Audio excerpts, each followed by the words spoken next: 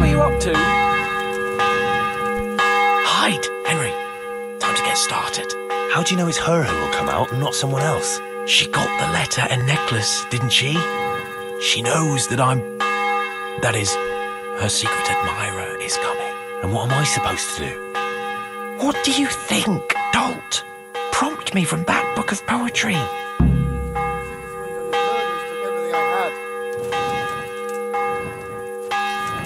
I wouldn't be.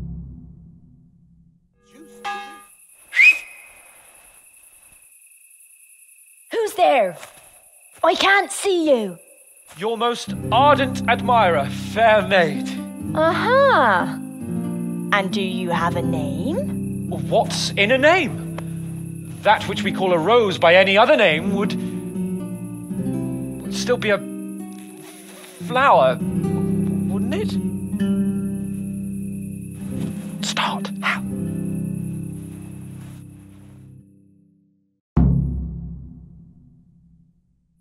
You saying?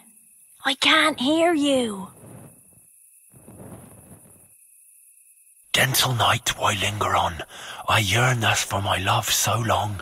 Without her words to still my breast, who shall set my soul to rest? Gentle knight, why linger on? I earned this from my love so long. Whip out your worthy silky breasts. Who shall suck my salty bits? No! And his murderers took everything I had.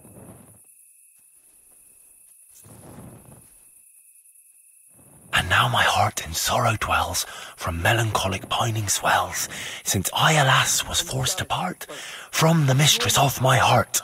I know my horses sort of well. Some alcohol from nine to twelve. Seems I always have whores apart from the mistress of my heart. What on earth are you saying? What's that hissing? It's, uh, a feral goose here in the bushes. A poor wretch whose home was burnt to ashes by Sigismund's hordes. Ah, Lord, let me not wait in vain. I long to see my love again. O gentle sir, be of good cheer. I shall not cling to another dear. Landlord, let me not wait in vain. I long to sing and laugh again. Oh, gentle sir, get off your chair. I shall not bring you another beer. My home, Jesus, my home, Henry! my. What kind of yokel nonsense are you babbling? Me? You're the one who's babbling. You're an odd one. Pity on me, a I've never heard such peculiar poetry in my life. Where on earth did you come up with it?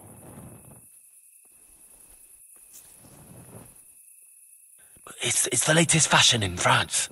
You've done enough harm. Better shut up and leave it to me. How did you like it, dearest? Ah, how tender you are. I'm from Skalitz, good folk. Your neighbor. Father is coming! Hide! Who was that talking? If it's some dandy again, I'll gut him with my filleting knife. I didn't hear anyone. Did you hear what he said? right under our window. I have a bad feeling about this, Hans. I think we should. Are you still there? Still here, my love. How could I have apart from you? Father's coming! He'll kill you! He will not. Because it'll never cross his mind where I'll be. Henry, it's time for me to claim my prize. Whatever happens, cover my back.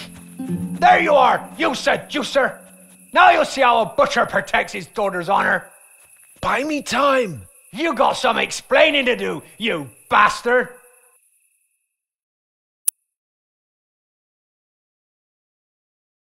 What are you after? You bastard sneaking around an honest citizen's house in the dark? I went to mourn over the grave of my great grandmother. Oh, yeah.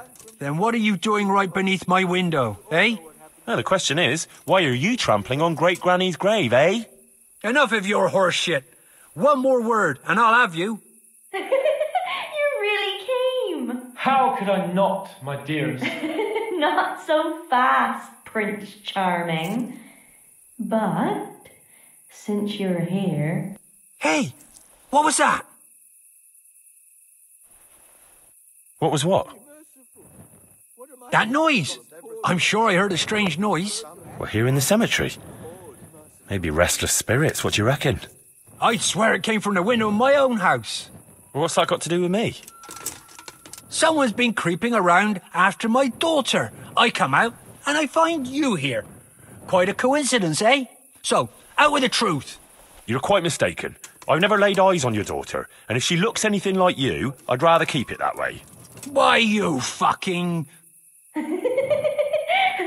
Ah, ah, mon petit lapin. There's, there's a lace here. Ah, untie it. Ah. Don't try to make a fool of me. I heard it clearly. What was that? I wouldn't beg good Are you alright? It seems to me you're hearing things other folk can't hear. That's not good. You're saying I'm hearing voices in my head? That's not necessarily a bad thing.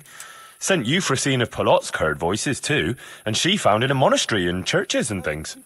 I heard voices too. Uh, well, could have been voices. I wouldn't swear to it though. Look, fellas, I was standing right here and I didn't hear a thing. Do you take me for a madman? Whatever you are, I want to know what you're doing under my daughter's window and who was talking to her. I heard it clear as day. Good neighbour, it can't be denied that old age dulls a man's ears. I'm here alone, praying for the souls of the good people resting in the cemetery. I've nothing to do with your daughter. Hmm, that voice sounded different to yours, though. But where did he get to? You must have seen him. Unless, unless you're covering for him. Yes. Oh. Yes. Ah, yes. Oh. Oh. Ah, oh. Oh, Christ almighty. It's haunted here. I knew I should never have come near this cemetery at night. The only one doing any haunting here is you. And I've done wasting time with you. I'll beat you to a pulp, and then that other bastard. You'll get the hiding of your life. Greetings. What do you need? How did it go with Carolina Sands? Henry, it was the most wonderful night of my life. She was completely entranced by my courting. I hardly had to touch her, and she melted in my arms. And then she took me to paradise. It was glorious. It was sublime. Thanks, in part, to you, my faithful henchman and messenger of love. You've earned your reward. It was an honour, Sir Hans. When are you going to see her again? Oh, I'm not going to see her again. All beautiful things must come to an end, and, after all, I am a nobleman, and she is the butcher's daughter. Well, that's how it ends with the love of your life. After the secret gifts, the letters, the intrigues, reciting poetry in the moonlight. My eloquence was wasted on her, Henry. Imagine, the silly cow couldn't even read. She returned the letter to me unopened. Here's the letter, Henry. Read it. At least you're capable of appreciating my literary talent. Read and learn from a poet. God be with you. And well, I'm sure we can come to some agreement, your lordship. Well, bearing in mind, Master Butcher, that we have nothing to come to agreement about yet. Well, yes, sir. Uh, well, I mean, no, sir. Well, I mean, I thought I ought to let you know what happened. Like, my daughter's good name could be besmirched, besmirched, oh, dragged through the mud. And his young lordship's too, of course. Well, only if she should find us. Only if she should find herself with a permanent reminder. Oh, well, that could happen yet, sir, couldn't it? I mean, if her belly starts to grow. You know how word gets around, and, well, folk would assume that Sir Hans is the father, even if some other young fellow was to come along in the meanwhile, and, well, you know, uh, and we already know the girl can't be watched. Are you trying to blackmail me? Have you forgotten that I am the lord of this town and that you are nothing but a stinking butcher? Oh, God forbid, sir. I, I'm just thinking of his young lordship's reputation and my girl's. But, of course, if his young lordship was to recognize the bastard as his own and pay for his upbringing. You can thank your lucky stars you're the only butcher around here. Otherwise, I'd have you out on your ear this very day. But, sir, I'm only to... Here, take this, you damn scoundrel, and never show your face here again. Oh, thank you, your I'm sure this will be enough. Thank you, sir. Thank you kindly. blasted fool capon. I'll wring his neck. Neck. I'll have his balls on a platter!